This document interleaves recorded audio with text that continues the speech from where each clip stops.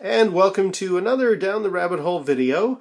You know what they say, never judge a book by its cover. Well, I did that once, and I was super happy I did. Wanted to share that story with you. When I was young, a couple of friends of mine were huge avid readers. They would constantly want to go into the bookstore every couple of days to find whatever the latest is from one of their favorite authors. And I would head into the store with them and hang around the science fiction section because that's kind of my area that I like. And I always saw this one book on the shelf that just struck me as very um, remarkable. And that was this book right here Retief's War by Keith Laumer.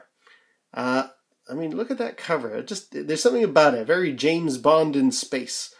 And uh, I always saw it there, but I thought, nope, nope, nope. The saying goes, never judge a book by its cover. I better not buy that.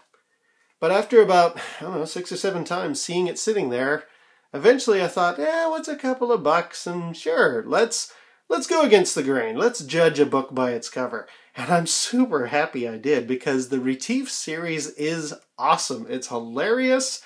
It's it is basically James Bond in space.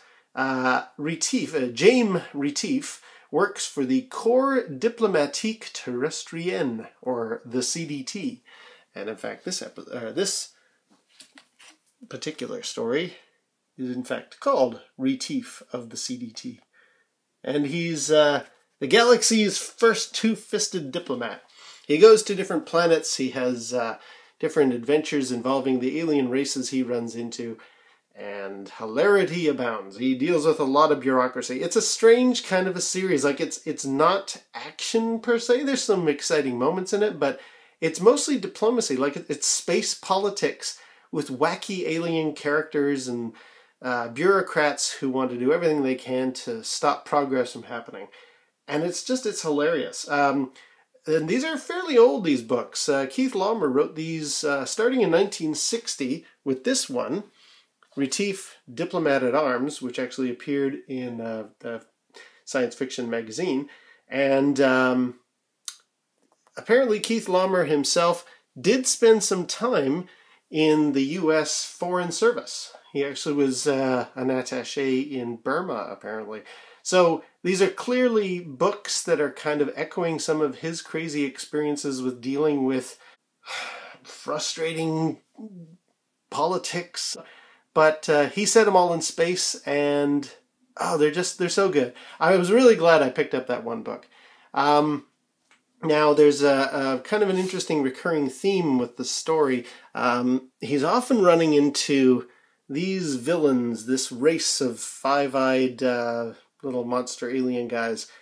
I'm going to describe them later because that was a there's an interesting connection to that. I want to get to that later. But In doing my research, I found out that uh, Keith Laumer had actually no real connection for where he came up with the name Retief. Uh, he was quoted once as saying that uh, he thought of various place names such as Tenerife and Re- R E C I F E. Not sure where that's where that is. Uh, and finally, Retief popped into my mind. So that's that's where the name is from. Uh, apparently, it's a fairly big uh, surname in South Africa, but Keith Laumer hadn't apparently really thought of uh, any connection there.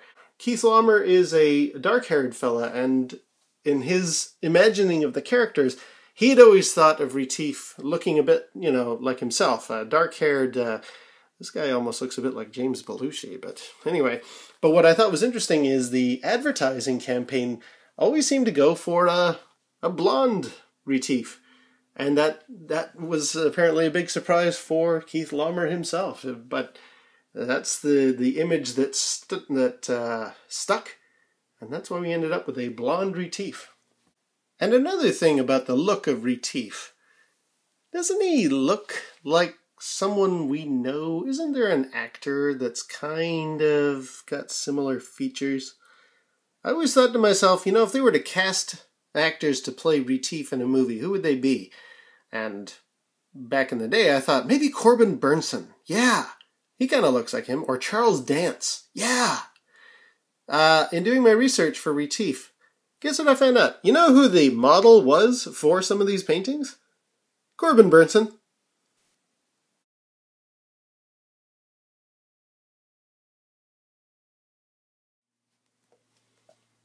Now, these little five eyed alien fellas. I think there must be a there must be a word for this, but in in the story, uh, these characters, I'm gonna I'm gonna find the page where it talks about them. Okay, so just going with a page at random, there's the name of that race there. G R O A C I. How do you pronounce that? Uh, this is one of those experiences I often get in books where the writer comes up with a name, but how do you actually say that? So I thought, well, G R O A C I. Uh, for whatever reason, that sounds Italian to me, so I thought they were the Groaci. And that was what I ended up calling them, as I always read it in my in the books. These are the Groaci. Um, but there is a particular book, I'm not sure which one it is here, where Retief runs into a character who actually talks about these beings, and he calls them the gross eyes, which you look at them, yeah, they're kind of gross looking creatures. And that's when I suddenly thought, oh, is that how you pronounce G R O A C I? Is grossi? Gro groassi? Grassy? Um, anyway, so I'm sure there's a there's a term for that phenomenon where you have called it something in your head all your life and now suddenly you have it called something else. So I just decided, nope, bugger it. I'm calling them the the Groaci. So you'll notice there's a similarity to all of the art on the cover of these books. Uh, most of them were done by Wayne Douglas Barlowe, who has a really distinctive look. Uh, his aliens have a, have a very clear appearance to them. That's not Barlowe, that's not Barlowe. This one is. Very um, clearly eye-catching because it made me buy this book. Uh, did some research on Wayne Douglas Barlowe he actually did this fantastic book, Barlowe's Guide to Extraterrestrials, where he covers all kinds of aliens from different bits of literature. Fantastic artist. Really, really like his stuff. That's Wayne W. Barlowe. Now, this book, which is the very first Retief story, Diplomat at Arms, this cover was done by Larry Elmore, who is actually one of my favorite artists for Dungeons and Dragons. He did many of the module covers and rulebooks. And yeah, love Larry Elmore. He also did the covers and paintings for Star Frontiers, which is a, series of uh, the role playing games I'm going to be talking about in future. But back to Diplomat at Arms. I was looking up Larry Elmore, ooh, this is about 10 years ago now and went to uh, Elmore's website, and he actually had this original painting for sale.